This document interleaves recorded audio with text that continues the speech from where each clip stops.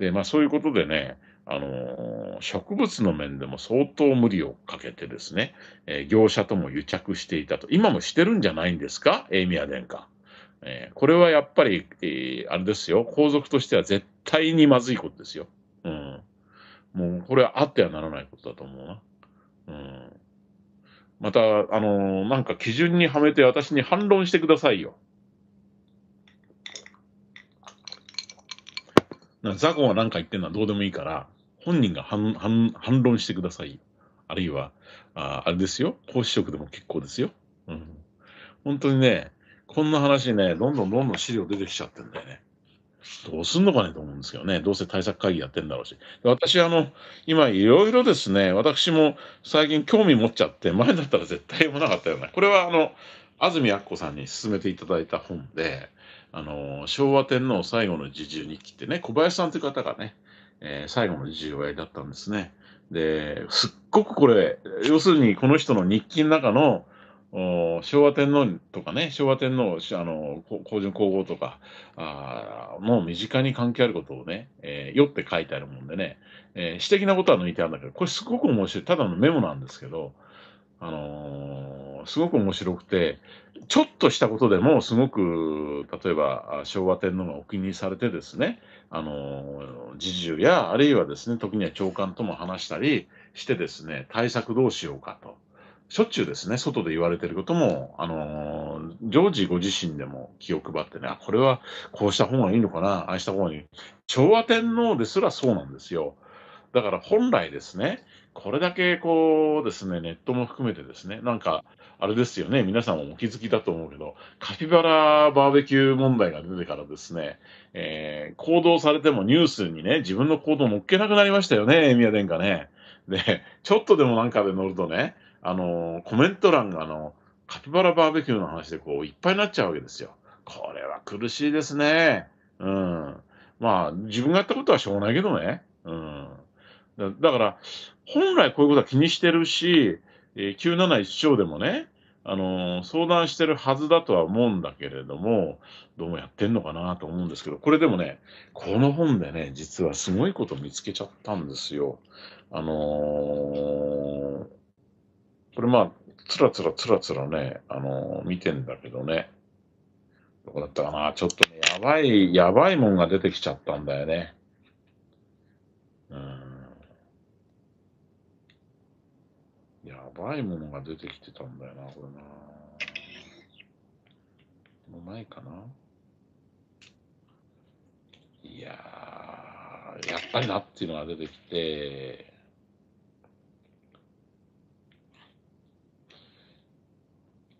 うんうん。結構ね、面白いのね、あのー、常陸宮殿下がね、こう、遊びに来た時にですね、あのー、実は常陸宮殿下もどうも動物がお好きなようで、えー、これ昭和のね、53年の話だと、52年の話だと思いますが、あの、チンチラをお買いだったんですね。チンチラっていうのは南米アンデスのですね、原産のリスとウサギのね、愛の子みたいなもんなんですって。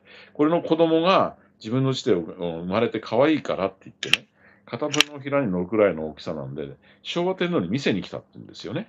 で、まあ、そんなような、なんか心温まるような動物をめぐるような、あのー、話もあるんだけど、なんとですね、そういう中で庭園で、えー、もうあ、あんまり詳しく言えないんですよ。あんまり詳しく言えないんだけど、庭園で皇后陛下、昭和天皇の皇后陛下ですか、皇十に皇后ですね。皇十に皇后がこう、あった。あった。昭和54年の6月1日の金曜日の日記に載ってるんですね。えー、昭和54年というと1979年ですね。で、こうですよ。これ実はメンメンバー、メンバーシップの動画に関係あることなんで、読むだけにしますね。6月1日金曜日、夕、ご夕食前に、皇后様が血の乾かない頸部の肉の露出した生地らしい鳥の足をお持ちになって、お座所、ご座所にお呼びになった。お上から何の鳥か調べるようにとの仰せで、お預かりして、えー、三郎所に帰り、えー、津高度に、えー、明日庭園に聞くように言って新聞紙に包んでもらった。頭部も内臓部分もなく、頸部だけあるひどいものだった。これメンバーシップご覧になった方わかりますよね。うん。これ1979年です。で、あの、メンバーシップの中で行ったことがありますよね。で、この頃、エイミア殿下何歳でしょうかね。綾宮様ですけどね。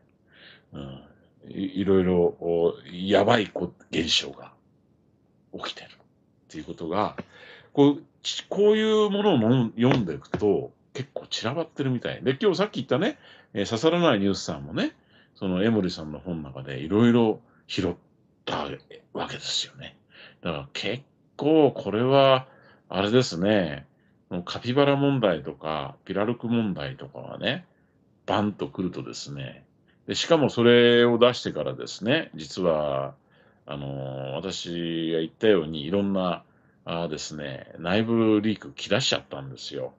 でこれも、これも内部リークですよ。これも内部リークだよね。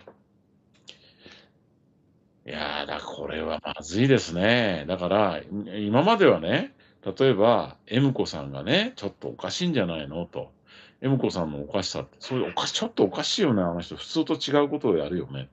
まあ、KK 息子とかね、KK 母がおかしいって話から始まってるわけですよ。我々はね。でも、それをこう、可愛いに変わってですよ。あの、民事の争いにまでですよ。あの、皇族にもかかわらず介入して、結局もう間違いなく自分の方の腹、腹を、というか自腹でですね、あの、解決金をね、えー、義理の母の元婚約者に払ってね、で、アメリカ行ったと。いうことは間違いないんですけどね。あのー、なんでこんなね、倫理観おかしくなっちゃってんの？これ子供の頃かとかに遡っていろいろ調べましたよね。で、まあ、あエムコさんはこんな紛争だったのは、やっぱり、えー、自由だ、自由だと言いつつね、特権は、特権だけは離さないようなね、そういう暮らしぶりにね、気にしてんだろうなっていうところまでだったんですよ。でも、どうもね、これ価値観おかしいと。うん。まあ実際実力者として、この間のことにね、あの、さ、あの、支え、まあ、いわば実力者として采配を振るってお金も出して、えー、971兆にも物申して、言うこと聞かして、このエムコ氏のですね、皇族ではもう極めて稀なですよ。これはエイミア殿下のお言葉を借りれば、もう例のないですね、えー、非常に残念な形のですね、えー、結婚になってしまったということは、やっぱりね、それを無理無理押しさせたのは、あ上皇后ですよ。はっきり言って。えー、これはもう間違いないんだよ。うん。あのー、97兆3位を動かしたり、そんなことはエイミアにも、エイミアにもできないことをいろいろ動かしてると。フォーダムだってそうだと。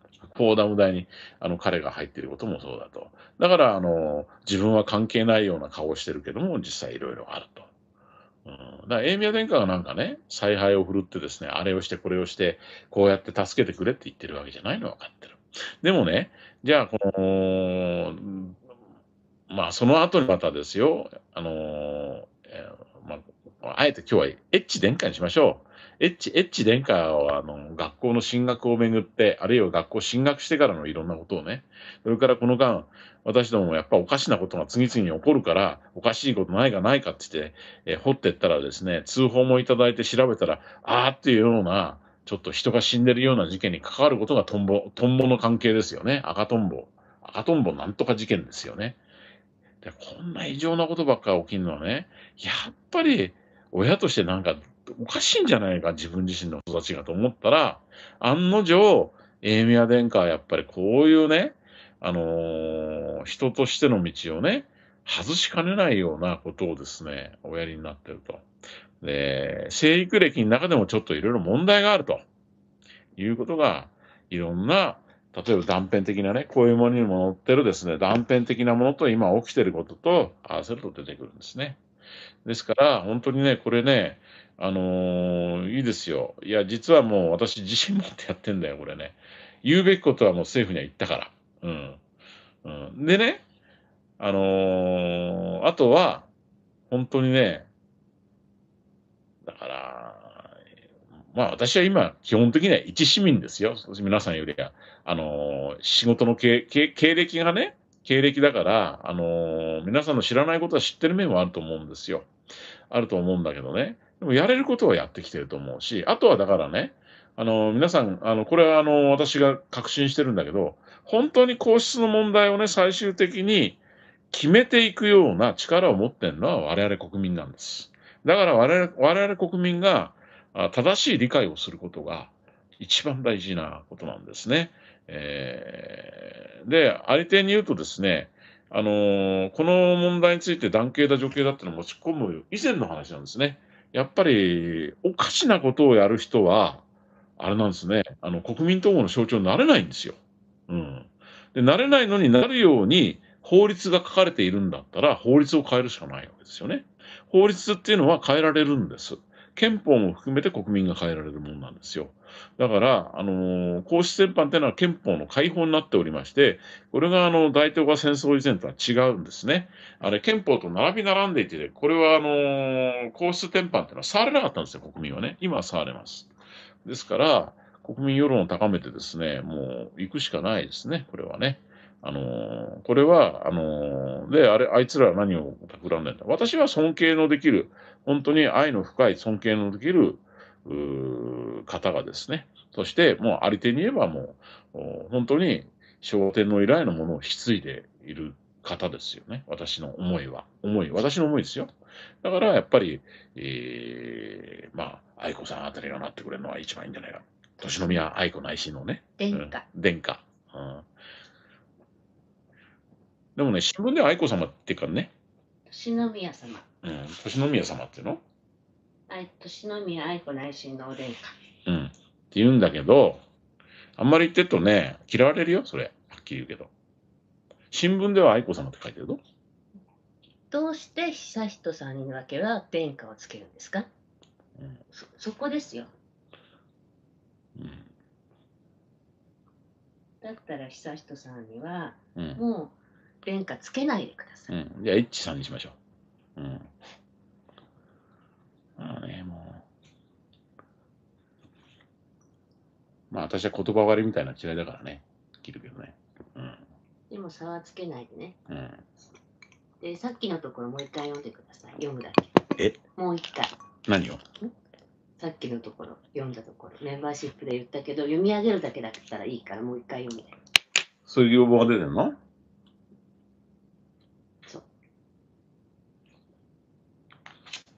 これね、これね、この本もし買って読むんだったらね、あの、これね、昭和天皇最後の受注日記、本当にね、4行だけなの。何ページか教えて。もう教えて教えてあげるから。これはね、昭和54年の分なのね。第2章にあってね、99ページで、99だから。覚えやすいからね。あのー、たまにこれ、本屋で本当に、初夏にこれ、中古、あ、文春新書だからね。文春新書ありますから、比較的新しい本だと思う。でね、6月1日なんです。昭和54年のね。6月1日の金曜日ね。夕、夕ご、あの、ご夕飯前に、夕、夕ってのはね、夕方の夕ね。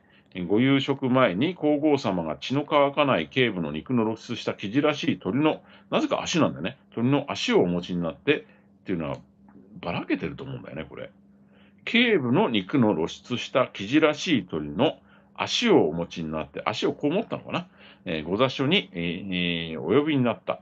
お上から何の鳥か調べるようにとの仰せで、お預かりして、えー、これ、三郎所だと思うんだよね。あの、こう、こうって書くんだよね。適法のこうという。所に帰り、えー、津高度に、えー、使える人ね、津高度に、明日、庭園に聞くように言って、新聞紙に包んでもらった。頭部も内臓もなく、頸部だけあるひどいものだった。頭取れてるんだね、これね。あと内臓も取られてるってことだね。うん。だから、まあ、カラスにやられたのかもしれないけど、ちょっと変だよね。変すぎますね。うん。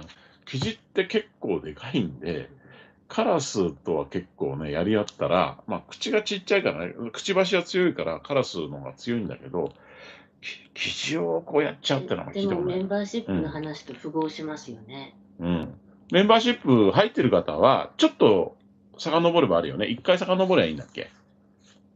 忘れちゃった。うんうん、メンバーシップ、この間のとちょちょっと違うんだよね。うんうん。あのーでも、まあ、市だよね。うんうん。まあこれ、本当に、一箇所でも出てくる。これはもうちょっとね、血の気が引いた。うん。うん。いや、こんな、あの、そんなことを期待してない本だったのに、あったんだと思ってね、本当期待して、えーいたわけじゃないのでね。まあそういう中で、え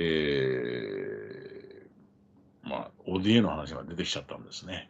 で、これはだからじっくりね、ちょっと調べようと思います。なんかね、これはもう、公の話の中でも相当闇の部分なんですよね。あの、JICA が出てきてるとかね、あの、いうことになるとね。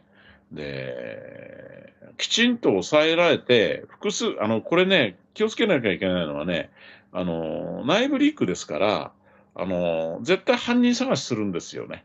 あの、暴かれた業者にしてもね。どこの業者が中心になってるかも全部、あの、割れてます。それは割れてんだけども、でも、あの、もうちょっと客観的な資料でね、あの、光当てるようにしないと、バレた先がね、迷惑しちゃうんでね。あの、これは慎重にやります。でもね、あの、ただ、皆さんに言えるのは、もう、これだけは確認したのはね、あの、エイミはきちんと絡んでる。ということを確認しました。あの、エイミは後で言ってるところでした。で、これが、あのー例えばいろんな国から勲章もらってますよね。なんで勲章出すか。ね。なんで勲章出すかと。それはその国にとっていいことがあったからなんですよ。うん。なんで M 越しが勲章をもらうか。いいことがあったんですよ。で、そういうね、仕掛け、仕掛けの一つが、あの、出てきたということなんですね。これはやっぱりね、あのーこれはね、しかも、そういうことがあったことは、役所の方も気がついているんですよ。だからこれはね、役所が積極的に明らかにしないだろうけども、ただね、役所の側としてやってほしいのはね、あの、正してほしいんだよね。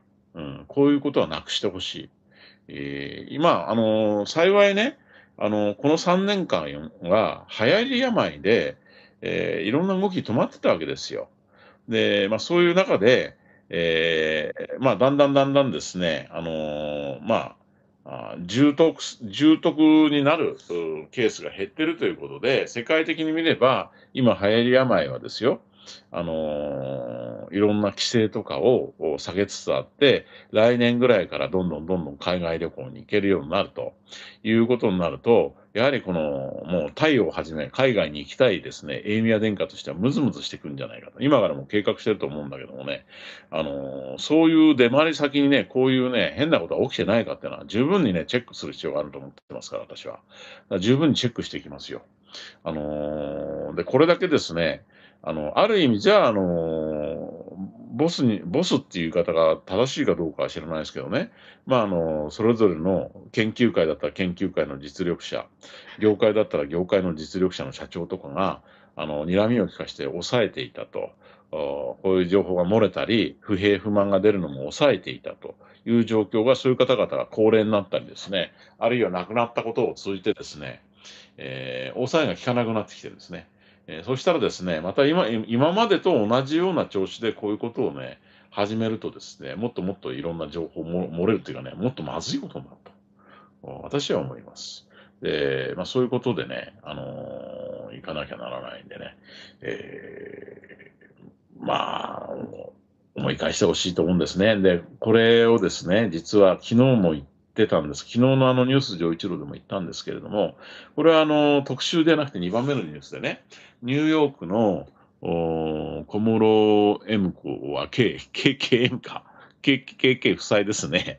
えーこの夫妻がですね、いろんなことを言われてます。今日も、今日もね、あちこちで、えー話題になってましたよね。週刊誌でもやっぱり言ってて、一時帰国するんじゃないかって言ったんだけど、これね、情報錯綜してるんですよね。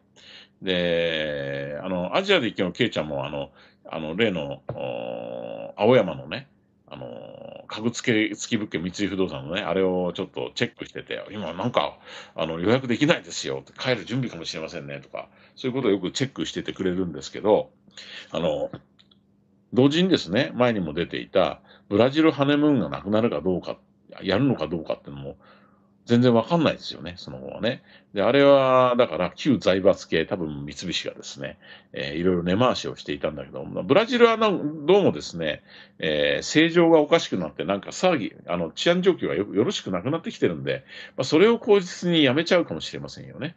にしてもですね、なんかですね、あのーブラジルにハネムーン行くのか、あるいはニューヨークのホテル来たのでね、あの、披露宴やるのか、あるいは一時帰国してですよ、少なくともまずですね、えー長女のエムコさんだけはエーミア殿下ご夫妻にですね、ご挨拶に行くと。まあ、この3度目にしてね、ようやく司法試験も受かりましたと。生活も安定しますからって。安定してないんだけどね。安定、まあ、もともと安定する必要もなくてね、あの、税金係でやってるわけだけどね。あの、いうことをね、やるかどうかって一つの見せ場なんだけども、今お、お父さんの、お父さんお母さんの方でこんなことがですね、表沙汰になってるから、あのーとてもじゃないけど、ニューヨーク夫妻が来たらどうなるんでしょうね。あの、だから、ニューヨーク夫妻のこういうもん、こういう問題がニューヨーク夫妻の足を止めることになってるんじゃないかなと。